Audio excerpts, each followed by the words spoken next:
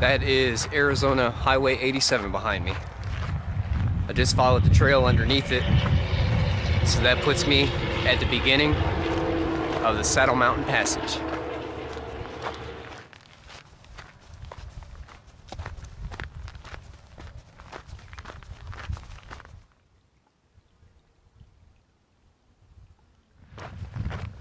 The trail in this passage is going to take me through 5.7 miles of the Mazatzal Wilderness. And I'll enter it in just about five more miles. But I don't think I'll have enough time to get through all of it today. So I guess I'll be camping somewhere in there tonight.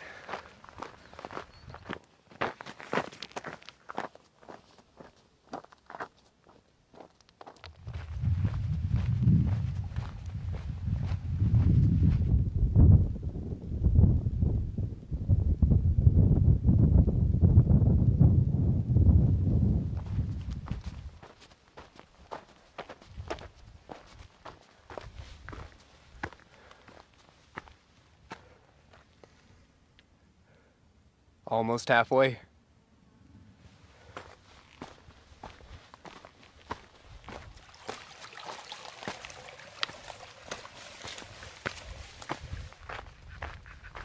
I just hit mile 393.1 and that puts me inside the Mazatzal Wilderness. And looking ahead, I think I might have found a place to camp tonight. It's going to be just above 5,000 feet in elevation at the Saddle Mountain Trail 91 junction and it's just about two miles ahead.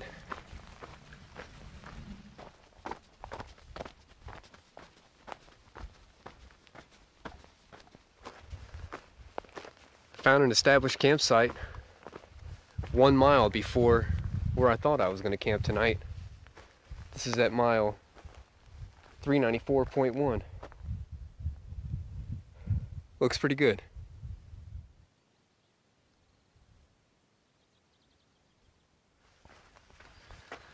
Where I ended up camping last night put me at about 4,800 feet in elevation.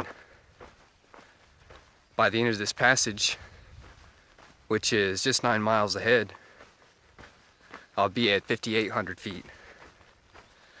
So not that big a gain in elevation this morning. But later when I start the next passage, that's where I'll gain some more elevation. I'll break 7,000 feet.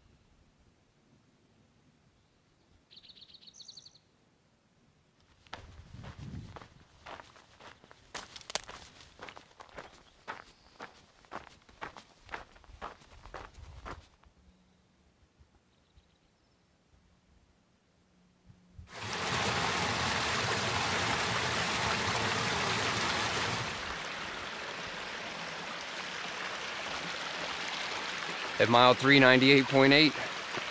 That was the end of the Mazatzal Wilderness. I'll be seeing it again real soon though.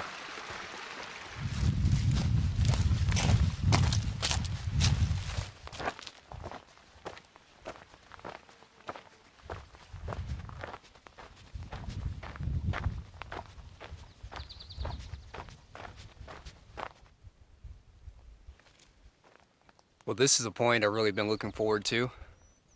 This is 400 miles on the Arizona Trail, the halfway point.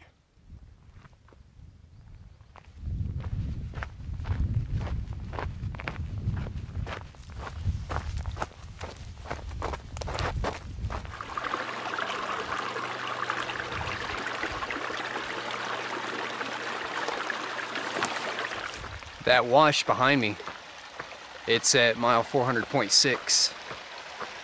And from what I can see, it looks like that's my last good water source for the next 11 miles. So I drink a liter there, got a liter with me, and that should be plenty to get me through it.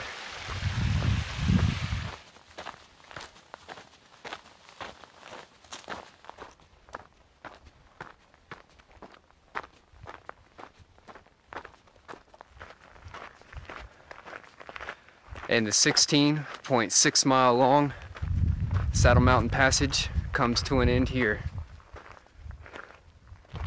at the Mazatzal Divide Trail 23 junction.